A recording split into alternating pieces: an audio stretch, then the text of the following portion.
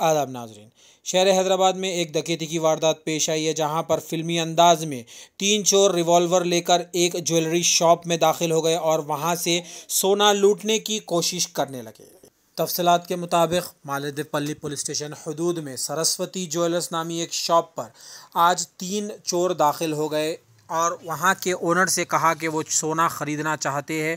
उन्हें सोने की कुछ जेवरात बताए। जब वो बताने में मसरूफ़ था तो उन तीनों में से एक ने रिवॉल्वर निकाला और इसके एक सर पर लगा दी और ये कहने लगा कि तमाम सोना निकाल कर इसके बैग में भर दे। मगर वहाँ पर मौजूद दुकानदार ने सूझबूझ से काम लेते हुए उसे पकड़ लिया और नीचे गिरा दिया। जैसे ही आसपास के लोगों ने ये तमाम तफसीत देखी वो आगे आए और इनकी मदद करने लगे। एक चोर पकड़ में आ गया और दो चोर वहाँ से फ़रार हो गए। जैसे ही इसकी इतला पुलिस को मिली पुलिस मौके वारदात पर पहुँच उस चोर को हिरासत में ले लिया और मज़ीद तफसलात करना शुरू आइए सुनते हैं मज़ीद तफसलात।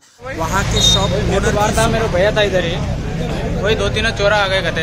हाँ। वही थोड़ा माल बताओ बोल के बताने लगा ही था उन्होंने रिवॉल्वर निकाला बाहर।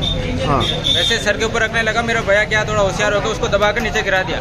गिराई तो क्या की गना नीचे गिरा के क्या हो जब तक आवाज़ करे तो आजू बाजू वाले आ गए थे। आजू बाजू वाले आके जरा उसको बाहर पीट के पकड़े यहीं पे बाँध के रखे। तो पैसे लेके पैसे नहीं लेके गए। कितने जन आया तीन जने आए थे एक जना भाग गए कहते दो जना इधर ही ठहर गए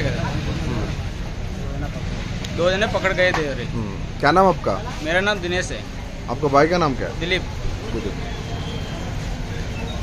एक कितने टाइम पे हुआ? कितने बजे। थर्टी फोर्टी मिनट्स पहले। हाँ।